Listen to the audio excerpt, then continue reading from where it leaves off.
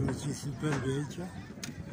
Lotus, bărci, oameni fără griji, căței frumoși și chiar hanau aici. Se mănâncă ca în Suedia.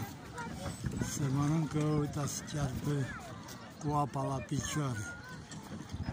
Vedeți? Chiar hanaua arată bine, ia uitați aici.